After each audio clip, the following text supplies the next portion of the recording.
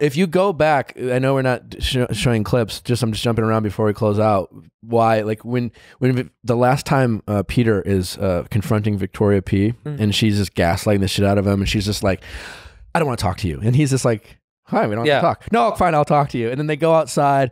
I can't believe I'm over. She she Mm-hmm. takes his hand away from his, and they sit down. And then she's he he goes, "Do you want to sit down?" Well, I can't sit down. Then she sits down. It's just she's constantly making him feeling yeah. like. And then she goes, "I've I've I've I've opened up so much to you, and I've been nothing but uh, honest with you." She literally pauses between when she says, "Go back and listen." So interesting. I have to watch this. So yeah, I'm gonna rewatch everything in such a different light. Go now. go back and listen. She can't say the word. She can't say the phrase "I've been so honest with you" without pausing Yeah. in the middle of saying "honest." She's lying so much. Yeah.